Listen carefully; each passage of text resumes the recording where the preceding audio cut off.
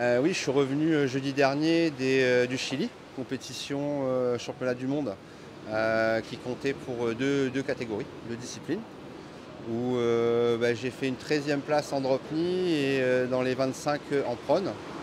Enfin, j'aurais espéré faire un peu mieux en, en drop knee et, je ne m'attendais pas à faire aussi bien en prone. Donc globalement, très très bon déplacement. Pour nous, enfin pour moi, ce qui était un peu compliqué, c'est la température de l'eau. On n'est pas forcément habitué euh, à être dans de l'eau à 14 degrés avec des grosses combinaisons assez épaisses et aussi euh, le manque de pratique.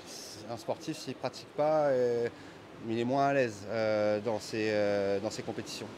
Et là, pour le coup, on n'a pas eu beaucoup de vagues, on n'a pas eu la chance d'avoir beaucoup de jours d'entraînement et il a fallu aller tout de suite en compète sans entraînement.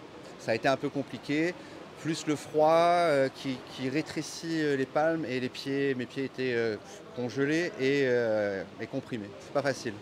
Les organisateurs, euh, bah, le planning n'est jamais fixe, il évolue en fonction de la météo et il y a eu quelques décalages. Euh, J'en retire euh, que comme c'est le début de ma saison euh, sportive pour moi, euh, ce, ce n'est que de bon augure pour la suite.